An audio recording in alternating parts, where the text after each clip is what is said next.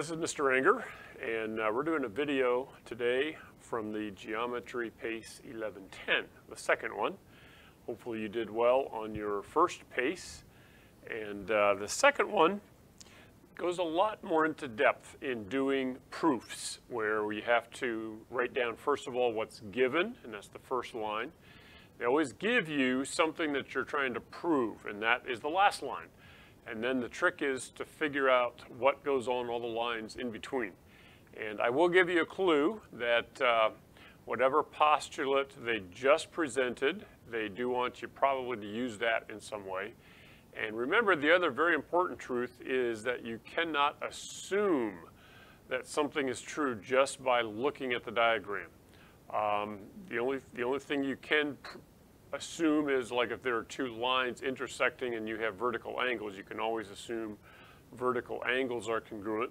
Or if, uh, like in a case like this, uh, this line is shared between these two triangles, and so that line will be congruent to itself, and of course that's the reflexive property. But uh, hopefully you remember that and that's not too hard at this point.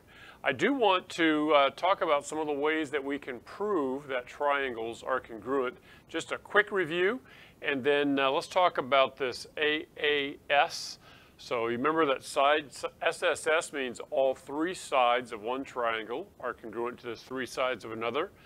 Side angle side means one side, actually two sides are congruent, and this, the A here means that the angle between those two sides is congruent.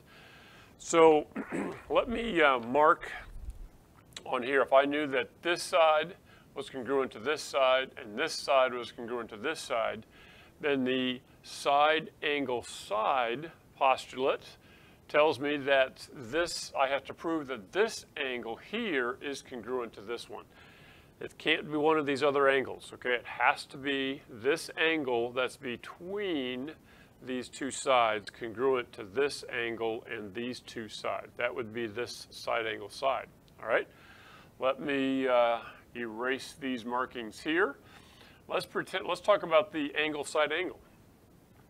Um, I can use that postulate to prove the two triangles are congruent if I know that this angle is congruent to this angle this angle is congruent to this angle, and the side that's between these two are congruent. So angle, two angles, and the side that's included. Included means between those two, okay?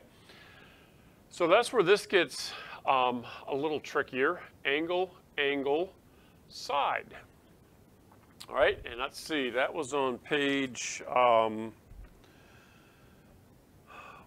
11 here at the bottom, postulate 17 of two angles and a side not included of one triangle are congruent to two angles and a side not included. All right, so that's wording it a little differently than what we've had. Let's look at this example um, right here. So this given part is telling me that angle L is congruent to angle N. So I'm going to mark L and N as being congruent. It also tells me that angle LPM, so LPM, so remember this is telling me that this has to be in the middle. LPM has to be congruent to NMP, NMP. It helps to draw the diagram or at least mark it in your pace and mark the sides that are congruent. Don't just look at it and try to guess, okay?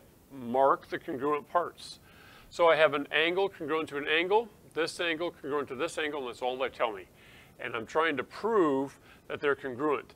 Now I can't use um, angle side angle because I don't know that this side right here, which is between the two angles, is congruent to this side, which is between the two angles.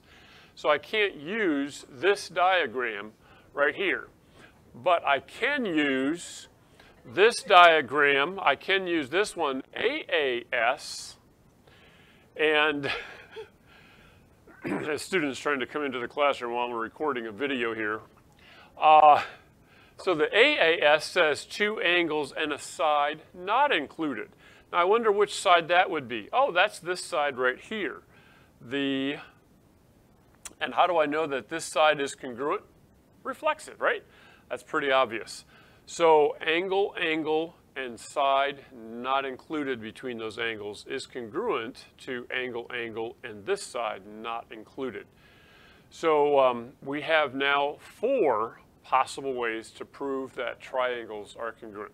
So hopefully just that little clarification might help you before you get to the first, is it the first checkup on page um, 14, 15, page 15 coming up, and uh, hopefully you do well on that.